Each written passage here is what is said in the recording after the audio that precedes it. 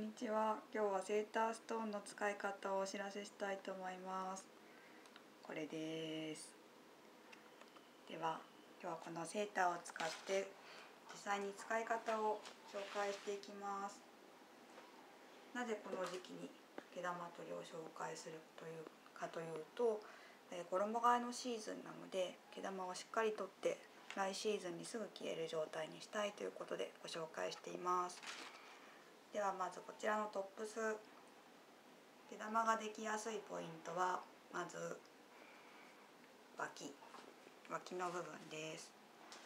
あと袖口ですね。よく擦れるところに毛玉ができやすいです。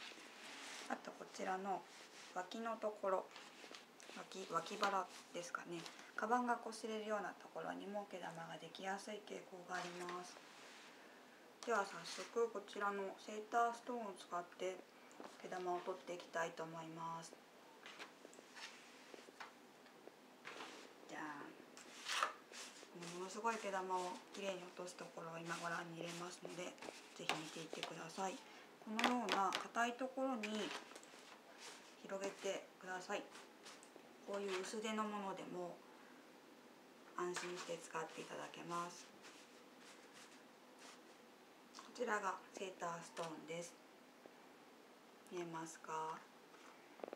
これは人工の軽石でできていてこの細かいザラザラを使って毛玉を絡め取っていくので衣類に穴が開いたりしないで綺麗にしかも素早く毛玉を落とせるという優れものです。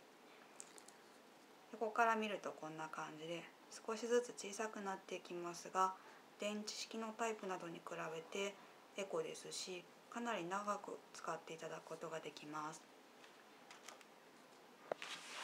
ではこの毛玉を取ります。軽い力で一方向に向かって動かしていきます。お見えますか？こんな感じですね。だいぶ取れました。どうですか。ちょっと秒速すぎて分かんなかった方のためにもう一回やります。こちらですね。こちらの面を使って軽い力で撫でます。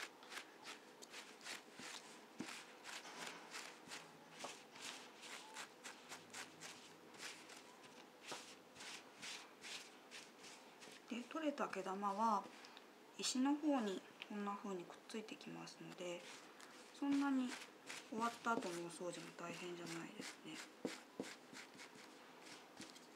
どうですか？見えますかね？